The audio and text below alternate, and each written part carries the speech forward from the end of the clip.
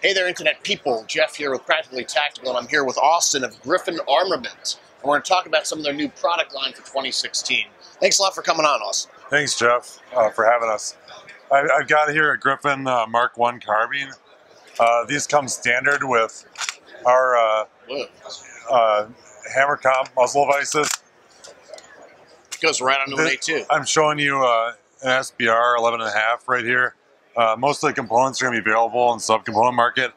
Uh, these feature our low pro rigid rails with their 17-4 flush cup swivels uh, screwed into the barrel nut.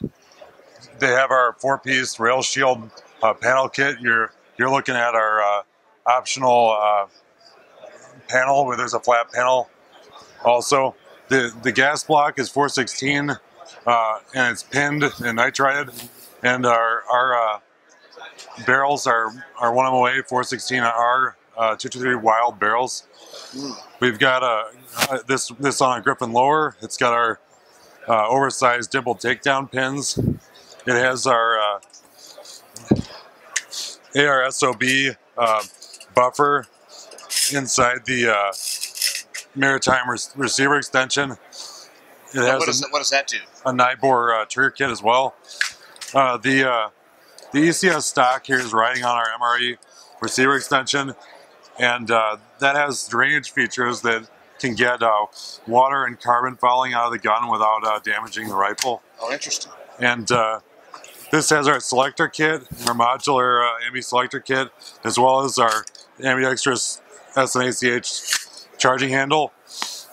We've got a mil spec pinned uh, forward assist on the rifle, our enhanced BCG, and uh, our A3 grip. So the gun is pretty much a full proprietary.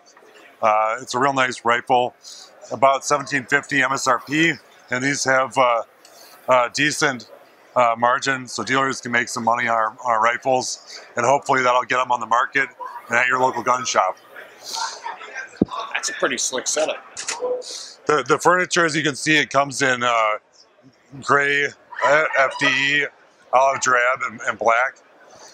Um, new for the year also is the uh, the Alpha sound suppressor. Uh, this is a ratchet locking front cap, user serviceable, 300 Win Mag rated uh, suppressor. It takes the uh, lineage from the Recce 7. It's a very high performance, multi caliber, market leading suppressor that has five baffles that are 6AL 450 titanium. It has a 74 blast baffle and uh, 74 billet main body that's 14 and a half ounces, and uh, that makes it a really uh, competitive offering for the uh, multi-cal class. Taking a look at our, our other new suppressor products, we've got the uh, Optimus suppressor series here. Uh, this comes standard in the box with the uh, components required to have the, the pistol configuration that's 9 millimeter, as well as the full-size taper mount configuration uh, which is a 300 Win Mag uh, rated rifle suppressor. You can buy optional uh, interfacing attachments to uh, put together the uh, the A2 interface configuration as well as the three lug submachine gun up to 14 and a half inch 556 rated version. The minimalist brake shield allows this to be configured in the midsize, 16 ounces, 7.9 inches long, 308 rated. And uh, the cool thing about the product is that uh, it's user serviceable and configurable, and it's uh, offering flagship performance in a lot of these configurations. You got 126 uh, decibel 300 blackout with a full size, for example, uh, 137 decibel 308 performance, and uh, it's just unlike any other suppressor product uh, that's historically been available because you can have uh, one caliber and you can shoot it in four different configurations with different sound performance and weight specifications and length specifications. Um, new for the year also is the Resistance series. Unlike our uh, our Revolution series, which brought mo modularity to the pistol silencer market, the uh, the Resistance uh, 9 millimeter and 45 suppressors are going to uh, to drop the modularity, uh, allowing the end user to have a high quality a suppressor that's market leading in performance for uh, a more affordable price. And so uh, these are coming in hundred bucks uh, less expensive than our uh, Revolution series, and uh, we're showing the the nine millimeter on a on a Sten gun in keeping with the resistance theme.